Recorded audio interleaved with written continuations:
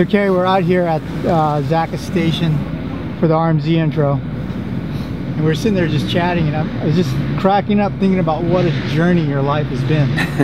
from when you, when you and I first became friends, you were, you know, privateer racing and, you know, the Hart Luck guy with his baggy gear and everything. So, man, what a journey. Did you ever imagine in your wildest dreams you'd be where you are today? It's definitely been a crazy run, you know, like I never I mean, especially, you know, mentally kind of going back to, you know, back in the late 90s. And I, I hit like a weird turning point and, and luckily freestyle kind of reeled me back in. But, you know, after Supercross in 98, I was I was done. You know, like I wasn't getting any support, and you know, back then it was like a very clean cut image, and I had tattoos and was wearing baggy gear racing, and I almost uh, I almost hung it up and went back to school, and you know, then the freestyle thing kind of started to take off and was getting little gigs here and there and, and it kind of took off and running. And then, you know, then it just opened up a whole new world and segued into businesses. And yeah, it's been a pretty wild ride and to, to be here, you know, sitting here and, you know, my, my semi's down the road at Castillo's place and, yeah. you know, to have a supercross team and doing a motorcycle test for Suzuki is pretty amazing. So, I mean, okay, 98, KX250, flesh gear baggies. you know, made a main in baggy gear. Yep. I mean, it was a struggle back then, and you were definitely a sore thumb. Stood out, you know, the, the baggy gear guy. But how was it for you segueing into the freestyle thing? It, it, was it was kind of like an overnight thing, you know. Like I said, uh, you know, I'd been doing a lot of film trips, and you know, back, you know, back then it was just filming primarily. Yeah. You know, when I was when I wasn't racing, and you know, I, I, wrapped up the Supercross series in '98, and if I remember right now, you know, back then it was kind of like me and Jason Thomas and like Ryan Huffman were like the three guys kind of making mains, mm -hmm. and uh, you know, and those guys went on to get rides, and the phone wasn't ringing, and you know, I remember going home. You know, I remember driving back home after Vegas Supercross, and I didn't even do the outdoor series that year. I was just kind of like a whip puppy dog, and I'm figured, you know what, I'm just gonna take the summer off and I'm gonna enroll in UNLV and start going back to school. Just I was gonna go be an accountant uh, which isn't that random. and uh, and I got the phone call to do the Warp Tour, and you know, so I said, all right, you know, I'll, I'll go on the road for this summer. I'll, I'll, go spend six weeks. I'm gonna make like a grand a week and per diem. So save up a little bit of cash to start school and you know come home and, and enroll and literally it kind of snowballed you know I did Warp Tour and then I came back and there's a couple like little one-off contests I made like remember I made like 1500 bucks at the uh, at the Costa Mesa jump contest with like me and Metzger and a few other guys and I just kind of kept riding the wave. I'm like ah all right next month. All right next semester I'll sign up next semester. And yeah. it literally just bit by bit and I think that's kind of why it, it, it kind of worked so well for me because it wasn't like this pressure like all right i'm gonna go do this. I was i was already out the door. I just figured ah, i'm just gonna make a couple bucks and see how it goes. Yeah. and it's just here i am 20 years later almost. I remember the first time i saw a photo of the Hart Attack i mean i was holy shit.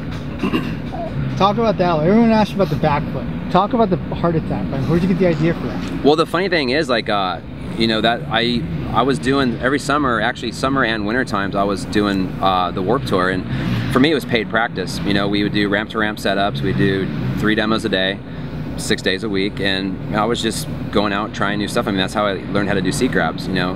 Kawasaki that year had that weird handle and I started grabbing it. I mean you start doing that much riding three times a day you start to try to get a little creative and I didn't actually realize that's what was happening. I didn't know my feet were kind of going as high. I just back then before I was having fused spines I was like I guess I was flexible and I didn't realize it until I started seeing photos of it. And uh, I remember Troy the uh, I think he was filming like Wrathchild he came out to Warp Tour and filmed with us one day, and he was one that kind of said something like, "Yo, like, do you see this?" And showed me some playback, and my feet were way above my head. I'm like, oh, I didn't even really realize it. It all kind of felt the same to me. so it was just like a natural evolution. And then, uh, you know, taking that to Rhode Island that year, it kind of was a big deal. So. And then, so you, I mean, could you have been the first guy to cut a grab? hole? Well, I mean, like I said, the in '98 the Kawi had that natural grab hole, yeah. and but it was little. I mean, it was tiny.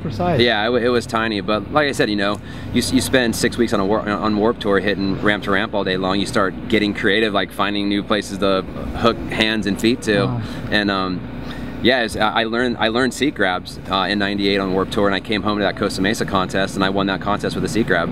and I remember doing it. And you know, my buddies I was on tour with, you know, Link and Feist and everybody, they'd seen it all summer, so it wasn't that big of a deal. But you know, to go to Costa Mesa and do it, and you know, and, and beat Metzger and all the all the dudes at the time, it was kind of it's kind of a big deal.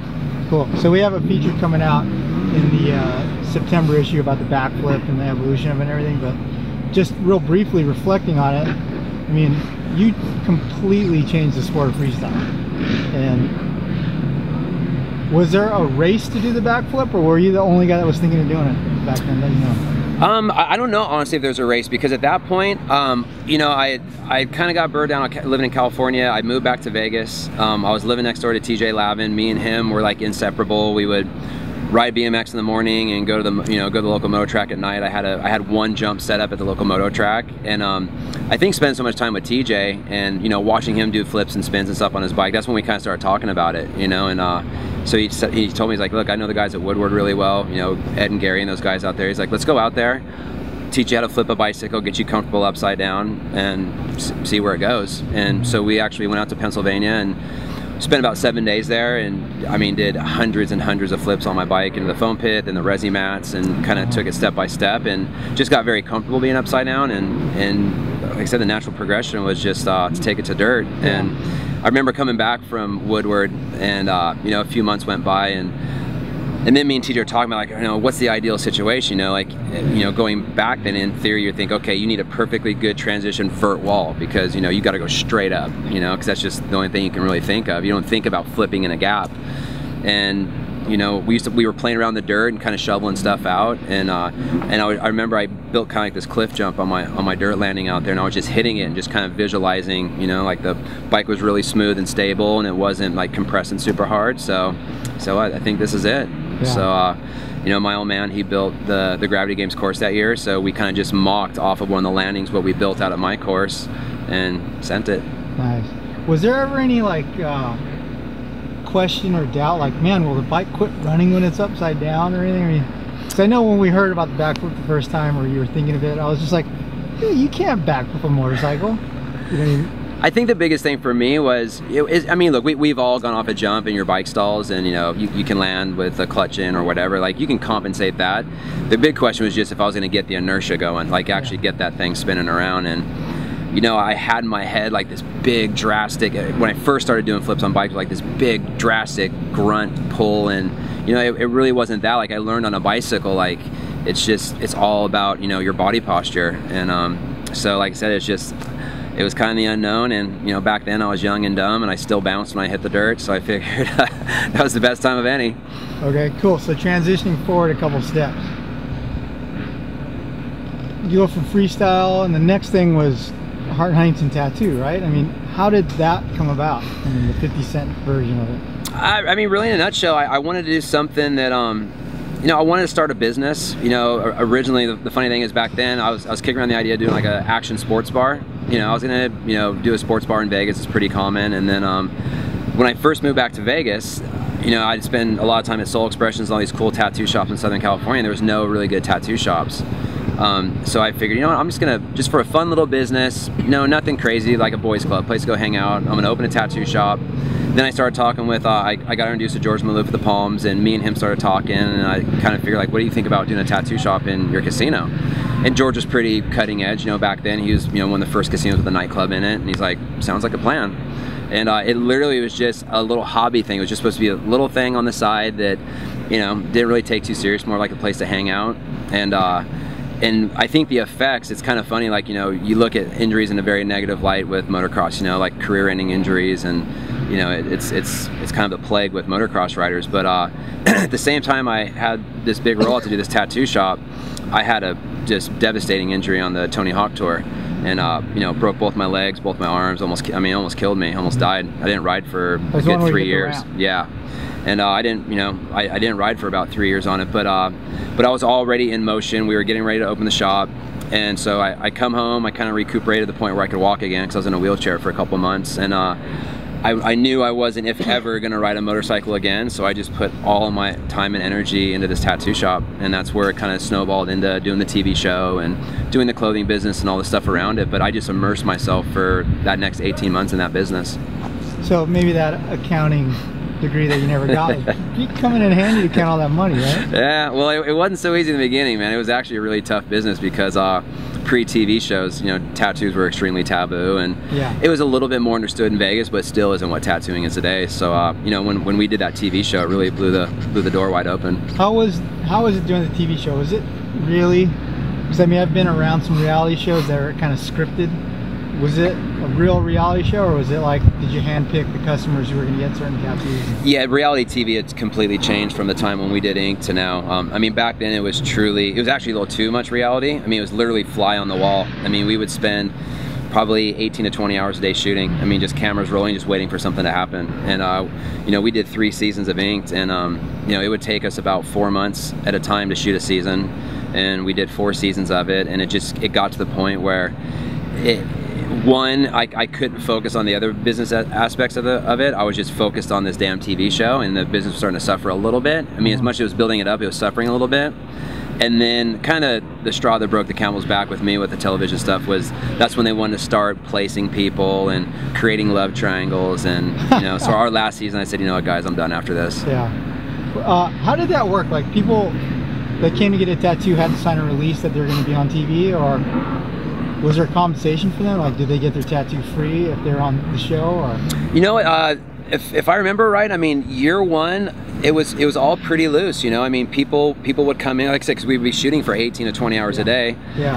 if somebody came in, they had like an idea for like a, you know, a memorial tattoo or something family based or whatever it might be you know, because that's usually how the conversation starts with a tattoo artist and a client. You know, like, oh, I want this tattoo because, uh-huh. and um, so if there would be like an interesting story along the way, we'd be like, hey, how about this? We'll pay for half your tattoo, and if you let us film it for television and do like a little Q and A afterwards. And it was cool. extremely just really organic and real at that point. It wasn't all this made up crap now. You're pretty famous, dude.